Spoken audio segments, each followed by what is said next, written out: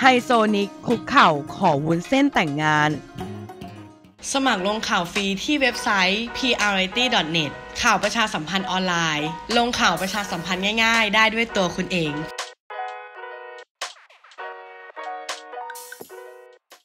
ก่อนไปรับชมรับฟังกันนะคะ ขอกำลังใจคนละหนึ่งไลค์และคนละหนึ่ง Subscribe แล้วไปฟังกันได้เลยค่ะ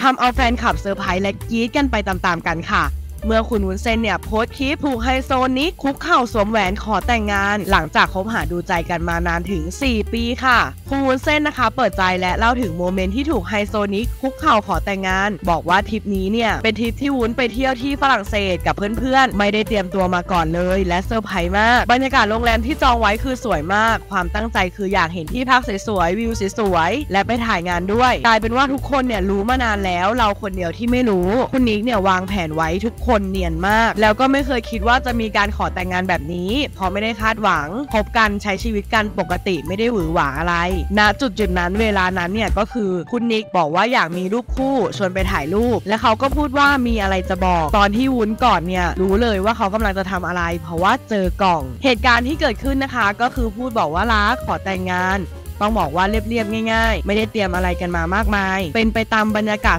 สวยๆของธรรมชาติเลย ซึ่งคุณนิกเนี่ยบอกว่าเป็นเรื่องที่เขาตั้งใจมานานแล้วตั้งแต่ต้นปี ส่วนเรื่องงานแต่งก็ไม่รู้ว่าจะเมื่อไหร่ก็ต้องรอดูเรื่องงามยามดีกันก่อน เอาเป็นว่าสำหรับคู่นี้เนี่ยแต่งแน่นอนพวกเราก็รองานกันได้เลยค่ะ และถ้าเพื่อนๆชอบช่องของเรานะคะ ก็อย่าลืมกดไลค์กด subscribe กดติดตามไว้ให้ด้วย อยากให้เรานำเสนอเรื่องราวเรื่องใดที่น่าสนใจคอมเมนต์ไว้ใต้คลิปได้เลยค่ะ เพราะการบริการคือหัวใจสำคัญของธุรกิจของคุณ